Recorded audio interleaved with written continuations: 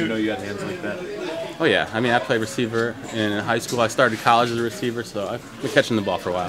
You played a little safety in high school too, right? Yeah, yeah running back, receiver, and safety. All of it. Back in Wisconsin, you know, good old days, two Joe, way. was it?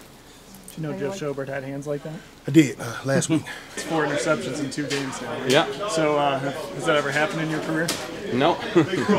Say it. Sacks, turnovers come in bunches, though. I mean, I feel like I've been playing at a level I'd played at before, but just, uh, in the right spot at the right time. Sometimes it, stuff just comes your way. So, so that being said, I I mean, even though you, you know you say you feel like you're playing a level you played at before, Mm-hmm. so how do you feel like you're playing the best football you've played?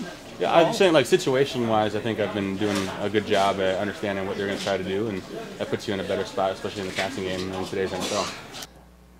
What kind of lift, what kind of lift is Schobert giving you guys with the four interceptions in two games? You know, I'll tell you, he's. Um, I thought he had his best game that he's.